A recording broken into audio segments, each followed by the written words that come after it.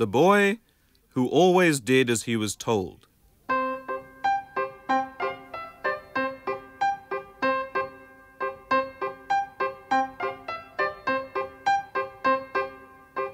Many years ago, on a little farm nestling in the mountains, lived Mr. and Mrs. Nakamura and their little boy, Saburo. He was a very healthy child, but he had one defect. He could remember only one thing that he was told at a time. His parents hoped that as he grew older, he would get brighter. And so they were very patient and treated him very kindly. Now the Nakamuras grew potatoes, and one autumn, when the potatoes were just ready, Mr. Nakamura said to Saburo, I want you to go down to the potato field and dig up as many as you can. And don't forget to spread them out in the sun to dry. Now, are you sure you understand? Saburo thought for a moment and replied, Yes, Dad, I think so. You want me to spread the potatoes out in the sun and then dig them up? No, no, you silly boy. The other way round. Oh, I see. Dig first, then spread. That's right. Off you go. His father sighed, relieved, and watched Saburo pick up his spade and trot off towards the field of potatoes.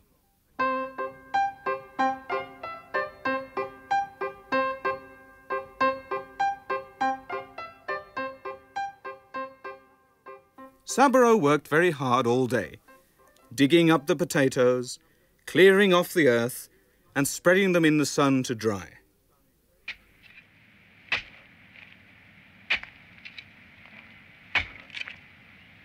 Then suddenly, his spade went clunk against something hard, and Saburo dug up a dirty old clay pot full of gold coins. Oh, this is a funny kind of potato. Hmm, it's full of coins.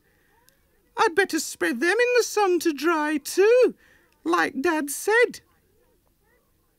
So he carefully laid the coins out in the sun one by one, picked up his spade, and went home for lunch. He ate his food slowly, pleased with himself for doing exactly as his father had told him. When he had finished the meal, he turned to his father and said, Dad, does gold take as long to dry as potatoes? His father looked at him in surprise. Gold? What do you mean? Well, the gold I dug up this morning didn't seem to be very wet when I found it. You found some gold? Yes, with the potatoes. And I remembered what you said and spread it out on the soil to dry. And when I. Before he could finish, his parents had rushed out of the house and were running down to the potato field to look for the gold. But, naturally, somebody else had already found it, and there was not a single coin left. Sadly, the Nakamuras went back to the house. Saburo, Saburo, just listen carefully. The next time you find anything unusual, wrap it up in your handkerchief and bring it home immediately. Immediately. Do you understand? Yes, Dad, I understand. Sorry. I'll do my best in future. The next day, Saburo went out to dig more potatoes.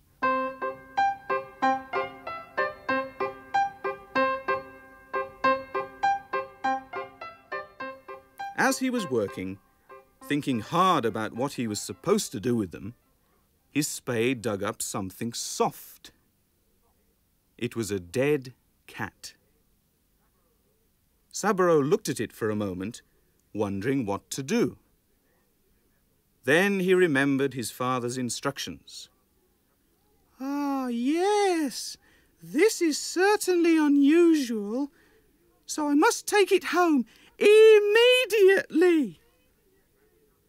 He wrapped it up in his handkerchief and ran home with it. When his parents saw it, they were rather shocked, and his father said, No, no, Saburo, don't bring dead things home. Throw them in the river. Do you understand? Yes, Dad. I understand. Sorry. I'll do my best in future. All right. Repeat what you have to do. Well, if I find anything dead, I must jump in the river. No, no, you silly boy. Not you. The thing. Throw the thing in the river. Oh, I see. All right, Dad. I'll remember.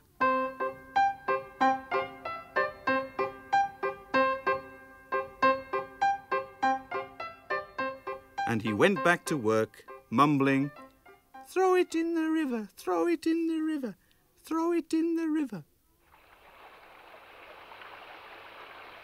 Later the same day, he was digging quite near the river when his spade got caught in the roots of a dead tree. Saburo pushed and pulled and pulled and pushed until the stump of the tree was free. Oh, oh, oh.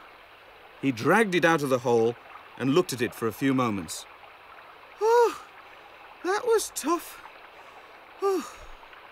Now, what was it Dad said? Hmm. Jump in the river? No, no. Uh, throw it in the river? Yes, that's it. But I wonder if it's dead. So he gave the stump a little kick. It didn't move, so he rolled it down to the riverbank and pushed it into the water. Splash! At that moment, the Nakamura's neighbor, Mr. Suzuki, was walking along the bank, and he noticed Saburo pushing the stump into the river. Hey, Saburo! What are you doing? Your dad could have used that stump for firewood. If you ever find anything useful like that again, break it up and take it home at once. Oh, thank you, Mr. Suzuki. I'll remember what you say.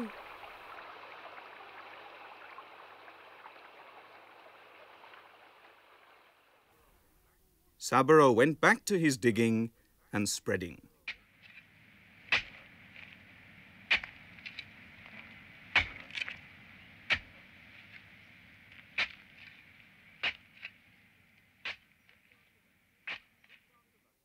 Just after lunch, he found a nice teapot and teacup on a stone at the edge of the field.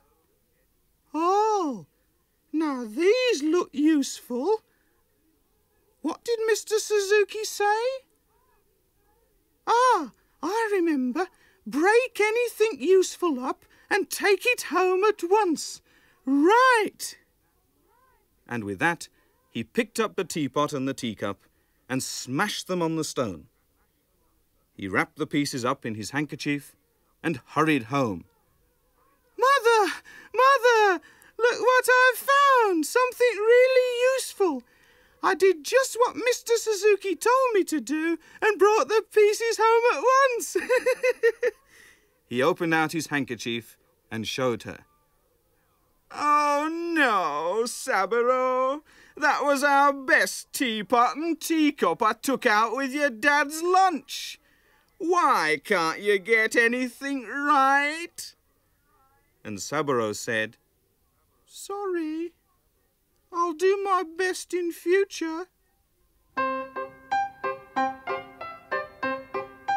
He wandered back towards the field, saying to himself, I can't understand why Mum and Dad get so upset all the time. I always do just as I'm told.